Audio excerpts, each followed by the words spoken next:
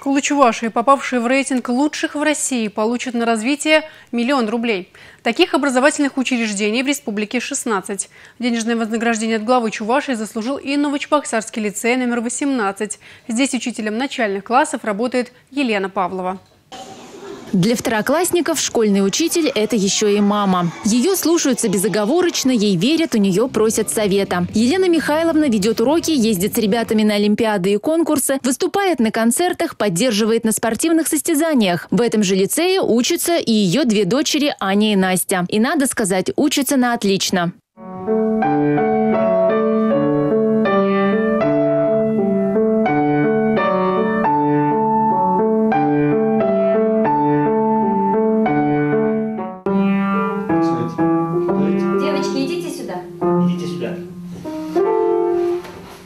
Аккуратнее.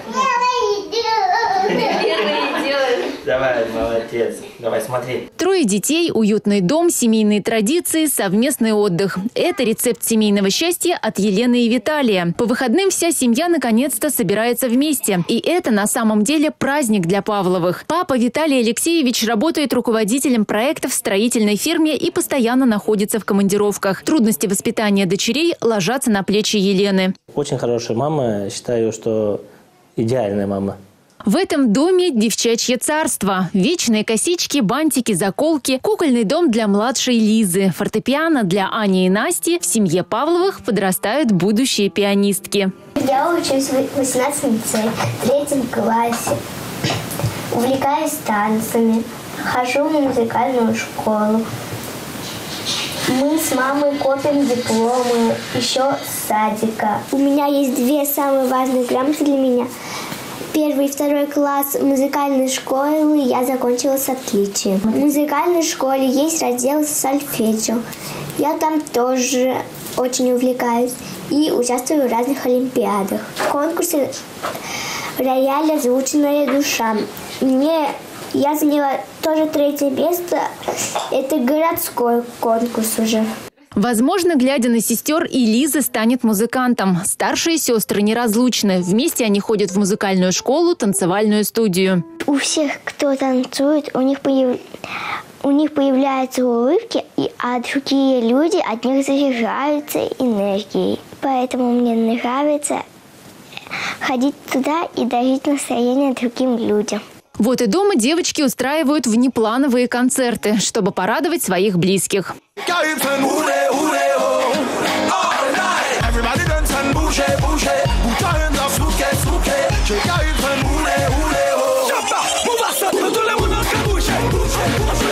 Елена и Виталий с самого начала хотели, чтобы их дом был полон детского смеха. Есть, конечно, желание, чтобы было еще больше детей. Но там же э, не только детей родить, надо же еще их воспитывать, чтобы они росли хорошо, чтобы ну, ни в чем не нуждались. Ну, будет возможность у нас со временем. Конечно, мы не остановимся на троих детей, будем думать. Но все, все зависит от того, как будет обстановка. Ну, не только в нашей семье, но еще в стране. Поддержка молодым семьям, поддержка многодетным семьям какая будет. Счастливая семья – это большой труд каждого. Любить надо друг друга. Я считаю, что надо э, понимать друг друга, уважать мнение. Я считаю, что надо всегда поддерживать друг друга. Детей надо рожать. Это вообще, это радость, во-первых. Поначалу боязно, вот, третий ребенок, четвертый. Где третий, там и четвертый. Мне кажется, все само получится. Дети друг другу помогают, поддерживают. Главное, чтобы в семье было спокойствие, а, чтобы ценили друг друга, любили все и уважали. Аня с Настей, они погодки, они растут вместе. Когда меня спрашивают, тяжело быть многодетной мамой, я говорю, я не чувствую себя многодетной мамой. Они у меня как один ребенок почему-то.